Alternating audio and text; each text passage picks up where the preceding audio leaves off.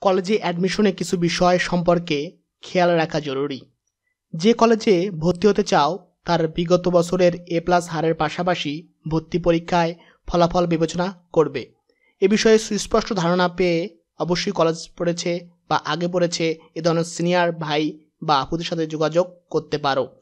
কলেজটার অবস্থান খুবই গুরুত্বপূর্ণ একটা বিষয়। তুমি যদি ইন্ট্রোভার্ট হও, তাহলে একদম একা একা নতুন কোনো কলেজে ভর্তি না হওয়া উত্তম।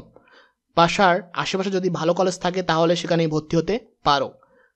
আর যাতায়াতে দুই থেকে তিন ঘণ্টা লেগে যাবে এমন কলেজ নির্বাচন করাটা বোকামি। কলেজের যাতায়াত খরচ সম্পর্কে একটা সুস্পষ্ট ধারণা নেবে এবং যে কলেজে ভর্তি হবে, তার আশেপাশে টিউশনি ফি কেমন, সেসব সম্পর্কে ধারণা নেওয়া জরুরি। কলেজের চয়েস লিস্ট তৈরি করা। তুমি পাঁচ থেকে দশটি কলেজ চয়েস দিবিতে পারবে।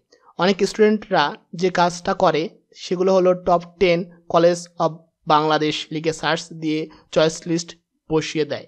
চয়েস লিস্ট তৈরির জন্য উপরের বিষয়গুলো মাথায় রাখার পাশাপাশি আরেকটি বিষয় মাথা রাখবে, সেটি হলো তোমার প্রাপ্ত নম্বর কত এবং যে কলেজগুলো লিস্টে করেছে, সে কলেজগুলো যে আনুমানিক সর্বনিম্ন কত নাম্বার পেলে ভর্তি হতে পারবে, তোমার প্রিয়রিটির ওপর ভিত্তি করে কলেজগুলো ধারাবাহিকভাবে সাজাবে।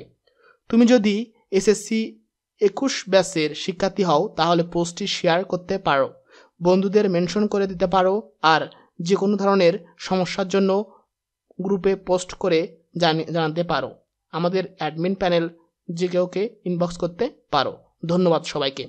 আর সবচেয়ে বড় বিষয় হলো যে, তোমরা কি জানো যে এসএসসির পর কোন কোন জায়গায় ভর্তি হওয়া যায়? শুধু কি কলেজে ভর্তি হওয়া যায়? নার্সিংয়ে ভর্তি হওয়া যায়? নাকি প্যারামেডিক্যাল প্যারামেডিক্যালে ভর্তি হওয়া যায়? আরও কত কত সেক্টর রয়েছে, সেগুলো কি তোমরা জানতে চাও?